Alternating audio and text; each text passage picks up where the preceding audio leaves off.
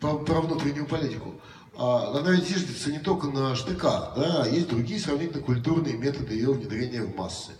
А, на это у нас есть цельный министр культуры. И, кстати, вот мы, интересно, мы довольно долго как бы не замечали Владимира Мединского. Ну, почему не замечали? Потому что слишком уж смехотворный персонаж. Все-таки у нас серьезный проект. Нас же многие считают путинским проектом, да, ну, как бы, как бы ниже уровня Пирамидинского э, делать. Но он все-таки вот, количеством он набрал качество и набрал серьезных очков даже уже в глазах господина Хорошего. Э, ну вот сейчас я несколько штрихов к его портрету, мы посмотрим в сюжете номер 108. Сергей Довлатов, безусловно, это э, выдающееся литературное явление второй половины XIX века, к большому сожалению. Потому что э, значит, я отключил интернет у детей на телефонах. То есть он не, как телефон работает, а как, спасибо, да, как телефон работает, а как вот, интернет не работает. У вас есть версия? Есть версия? Версия здесь много. Плохо. Тогда вы говорите, более, менее интересное уже вытекает. И снимают кино по принципу добрашка говняшка. Любимая дорога моя, Шереметьево, Москва, Шереметьево 2. Вот «Левиафан». Фильм э, с технологической точки зрения, то есть игра актеров, музыка, операторская работа, настроение драматургии, ну, сделано очень классно. Но при этом ощущение после окончания просмотра кино, ну просто как, как в душу, знаете. Чем можно напивать в душу министра культуры? Канской премии. Получилось приз Канского фестиваля за сценарий. У нас 1,6 миллиарда на этот год, которые, правда, до Крыма еще не дошли. Но зато детально расписаны вплоть до копейки. Ну, расписали, а деньги-то где? Не деньги. В подписи Министерства культуры. У вас есть версия? Есть? Версия здесь много.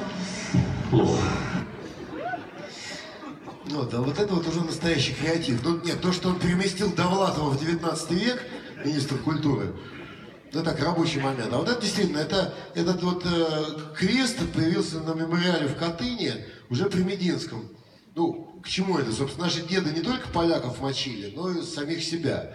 Причем поляков на памяти символы всех религий, и Магендоид там полумесяц, вот, а и фамилии всех-всех погибших. А у нас только православный крест, зато красный. Вот, и вспомним всех примерно написано, и ни одной фамилии нет. Но номер посвящен конкретной миссии, значит, нашего министра, исторической миссии. Потому что подвижнически переписывает историю, а свои версии канонизирует. Итак, жанр антинарод, номер называется «Все культурненько», но это не по Высоцкому, это по Пушкину из Бориса Годунова. Итак, «Все культурненько».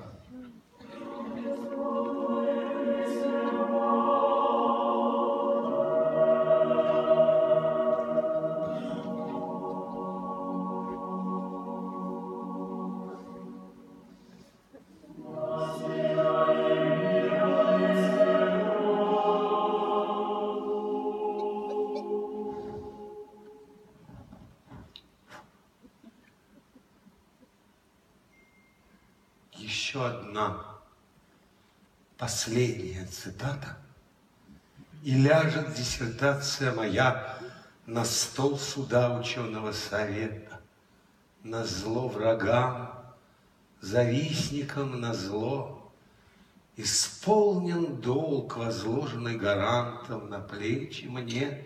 Недаром наших лет свидетелем я стал и летописцем, смирив себя молитвой и постом. Ну, в смысле, не постом, когда нельзя жрать пармезан, хамон и санкционику, а должностью министра по культуре, великим и заслуженным постом. С чего я начал? Написал труды о мифах и поклепах на Россию – ведь в мире представление о нас основано на лжи и злобных мифах. Есть подлецы, из самых разных стран, что утверждают, правде не внимая, как будто бы в России много пьют. Есть сволочи такие, мне поверьте, кто говорит, что здесь у нас воруют.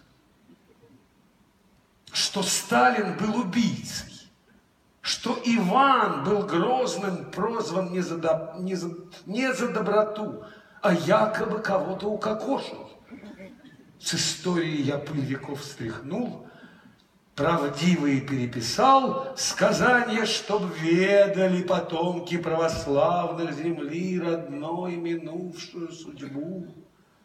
Своих владык великих поминали хорошими культурными словами за их труды, за славу, за добро, а про грехи, про темные деяния забыли потому что это миф, история, культура.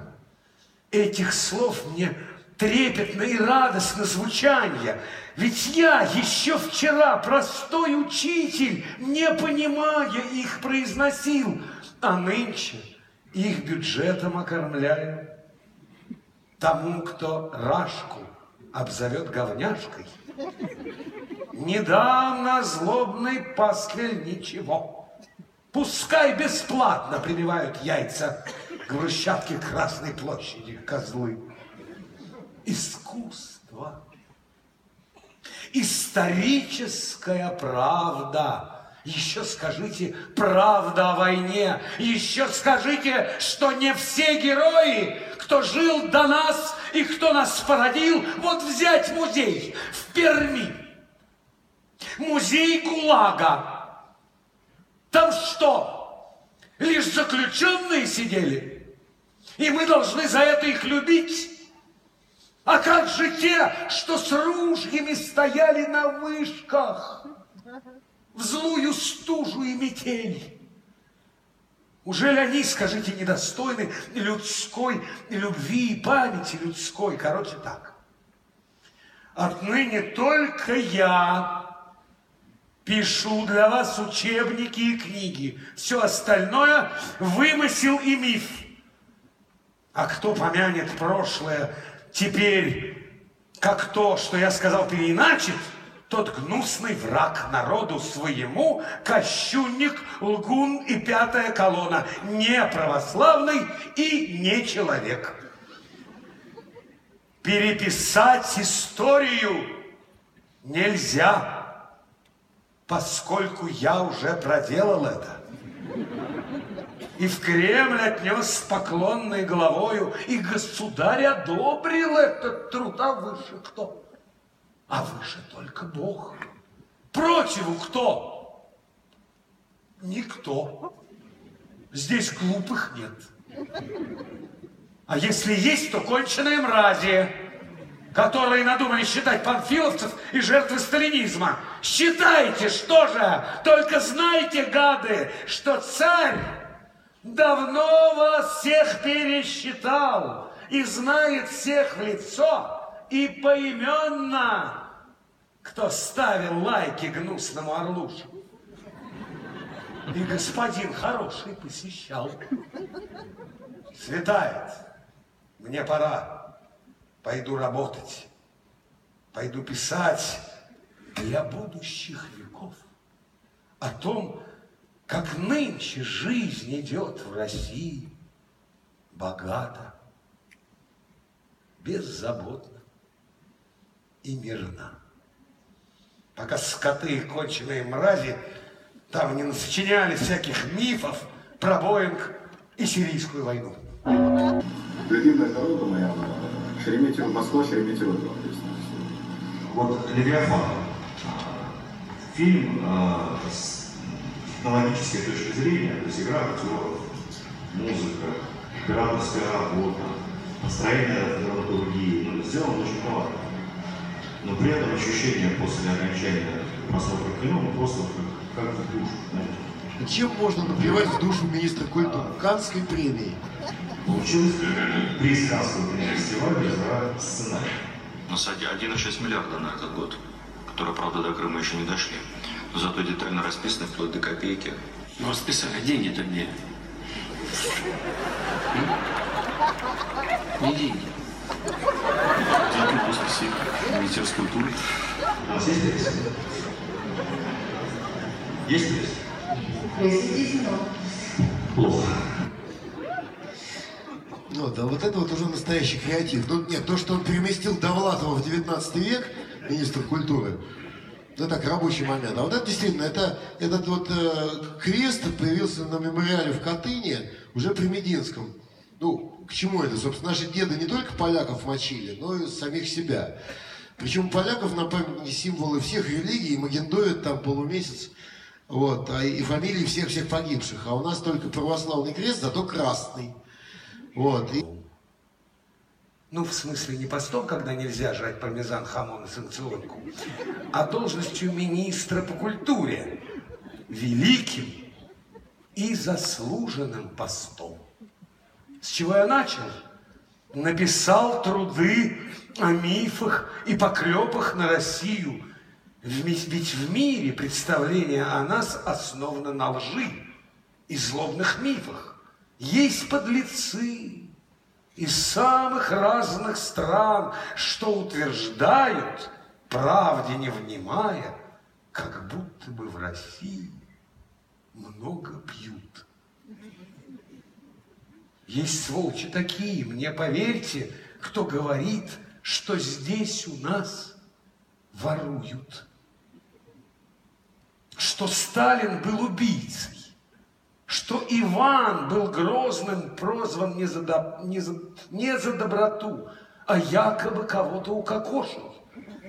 С историей я пыль веков стряхнул, правдивые переписал, сказания, чтоб ведали потомки православных земли родной минувшую судьбу. Своих владык великих поминали, хорошими культурными словами за их труды, за славу, за добро, а про грехи, про темные деяния забыли, потому что это миф, история, культура. Этих слов мне трепетно и радостно звучание. Ведь я еще вчера, простой учитель, не понимая их, произносил, а нынче их бюджетом окормляю. Тому, кто рашку обзовет говняшкой, не дам на злобный пасквиль ничего.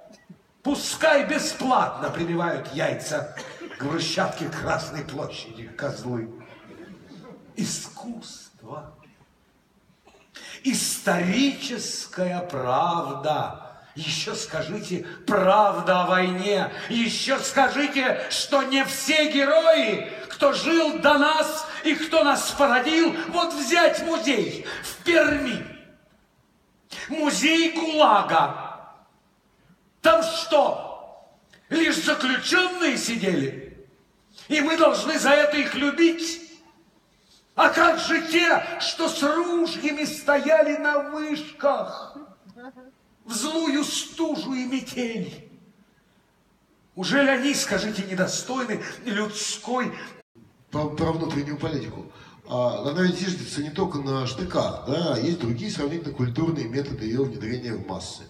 А, на это у нас есть цельный министр культуры. И, кстати, вот мы, интересно, мы довольно долго как бы не замечали Владимира Мединского. Ну, почему не замечали? Потому что слишком уж смехотворный персонаж. Все-таки у нас серьезный проект. Нас же многие считают путинским проектом, да, ну, как бы, как бы ниже уровня Пирамидинского э, делать. Но он все-таки вот, количеством он набрал качество и набрал серьезных очков даже уже в глазах господина Хорошего. Э, ну вот сейчас я несколько штрихов к его портрету, мы посмотрим в сюжете номер 108. Сергей Довлатов, безусловно, это э, выдающееся литературное явление второй половины XIX века, к большому сожалению. Потому что Э, я отключил интернет у детей на телефонах. То есть он не, как телефон работает, а как, спасибо, да, как телефон работает, а как вот, интернет не работает. У вас есть? Есть версия? Если здесь много. Плохо. Тогда вы говорите, более, менее интересное уже вытекает. И снимают кино по принципу добрашка говняшка. И вспомним всех примерно написано, и ни одной фамилии нет. Но номер посвящен конкретной миссии, значит, нашего министра, исторической миссии. Потому что он подвижнически переписывает историю, а свои версии канонизирует. Итак, жанр антинарод, номер называется «Все культурненько», но это не по Высоцкому, это по Пушкину из Бориса Годунова. Итак, «Все культурненько».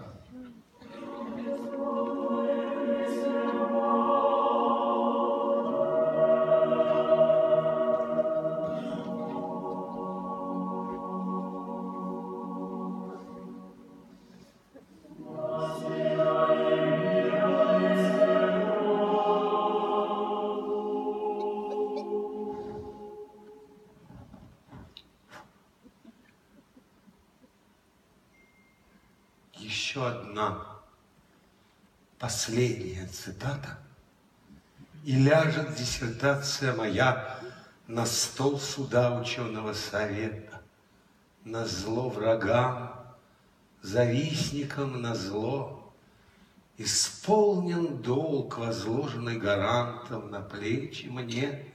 Недаром наших лет свидетелем я стал и летописцем, смирив себя молитвой и постом.